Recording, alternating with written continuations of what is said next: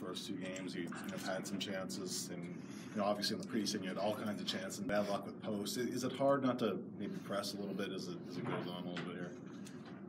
Yeah, I mean, definitely um, a lot of chances, but I think that's a positive at the same time. I mean, when you're getting chances like that, it's better than not getting them. But um, I don't know, maybe a little snake bit right now, but I'm pretty happy with my play. So um, I think just got to keep playing that way, and eventually they'll start going in.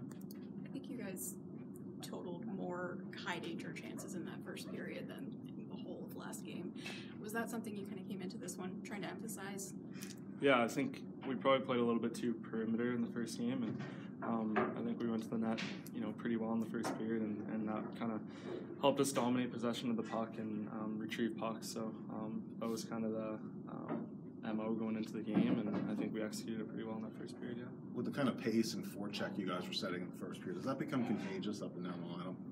I think so. Yeah. I mean, I think we have a lot of guys who are, um, you know, really good at it, and I think that's kind of, you know, guys a guy like me is kind of can feed off that from other guys who are really good at it. You want to play like that, and you want to um, have that same effect on the forecheck. So um, it's nice to have a lot of guys um, on our team that are great on the forecheck, and I think our team's pretty, you know, pretty good at doing it. It's like you and Joel were trying to connect a couple times on the power play. You're not on the same line like you were in the rookie game or Yeah. part account, but you get to try to make it happen on the power play.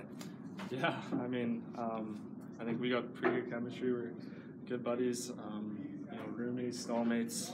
Uh, spent a lot of time together, so I think on the ice it kind of translates. And um, whenever we're out there together, I think we're trying to find each other. So um, I think hopefully that'll uh, you know kind of happen in the future. Hey, kind of fun for you guys. I mean, this is this is the beginning of you know what you're hoping is going to be a long career together and, and maybe something great. Yeah, definitely. I think um, it helps when you kind of come into this situation with someone else that's um, you know in the same position as you, kind of. And um, you know, even aside from Joel, we have a bunch of rookies this year and a bunch of guys you know around my age. So um, it's a good group, and like I said, it's it helps when you're kind of going up with a bunch of guys instead of just on your own. What can you say about Andy and Nick as two guys that can get in, win battles, and create some space for you?